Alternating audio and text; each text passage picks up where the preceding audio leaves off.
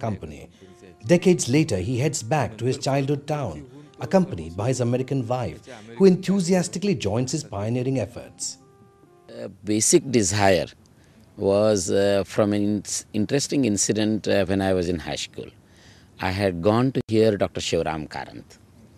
So this was at uh, annual social gathering of a high school. He was talking about uh, how a human being should live a responsible life. One of the concepts he had talked about is debt to the society. Is beautiful, economics as if uh, people mattered. I would say that it made the deepest impact and made me really understand what is the socio-economic conditions, how does a country adopt its development policies, how can the poor be helped and so on. The Hiremaths identified 72 villages for development and began work under the umbrella name of India Development Service. Soon it was obvious that the rights would have to be fought for, but IDS being a development agency could not participate in agitations. So a new organization was floated, Samaj Parivartan Samudaya, whose work was to be entirely overseen by Mr. Hiremath. S P S करायचं अशी एक श्रम विभागणी झाली So, as we are making immense uh, uh, progress through the village, and livelihood in two entire villages. No trees grew here. Those which did were stunted. Even the children appeared stunted here. The smoke was so dangerously toxic that any object got misshapen. I saw iron poles that had been corroded. The same water in which the factory disposes its effluents. The company had not bothered to install any gadget to filter the water. It was released into the river just as it was. The toxins proved so dangerous that they destroyed the oxygen in the water. Starved of oxygen, the fish died and floated up to the surface. Things were especially bad during summer when water dried up, increasing the concentration of toxins in the water.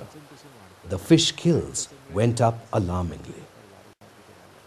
decision that anybody takes is in the minds. So, a team of us, uh, the village activists, volunteers, and more importantly, some primary school teachers, we went to Gujarat for a 15 day orientation camp in Vedchi because they were very concerned about this non-violent direct action in such serious life problems.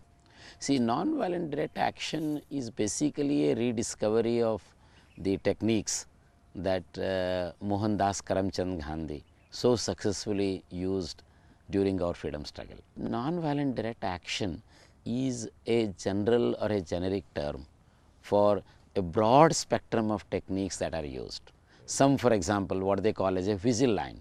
So, wherever you have a serious case of exploitation, where you have a serious problem like pollution, standing just in front of the factory in silence for 4 hours, that is called a whistle line. So, most of them are satyagrahis who are trained. Then we have a small group of people who sing songs. We have a small group of people who sell the publications and all that. So, it is a first step which is very legal, basically asserting our right of expression of the suffering that the people have taken And it goes to the other broad spectrum of non-violent direct action where you have what is called civil disobedience. In other words, you break the law. We were able to be part of this larger effort to bring about a change in the national forest policy. के P L विरुद्ध आंदोलन हे तर मला असं वाटतं की पर्यावरण I क्षेत्रात regard the struggle against KPL as one of the pioneering environmental agitations in India. The cabinet had already given its approval to the proposal. The land had already been awarded and had changed hands. The required plantation had already been completed in several places. To oppose government decision at such a point and successfully agitate for reconsideration was truly a unique achievement. The media proved a very important instrument. The extensive documentation of the pollution prepared by the SPS and its appeals to sympathetic members of the academia and bureaucracy was another great achievement.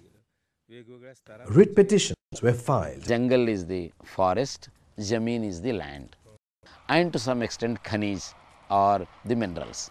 I regard myself privileged to have witnessed this all encompassing movement, its dedication and inspiration based on the principle of non violent direct action has strengthened my own belief in this pioneering principle.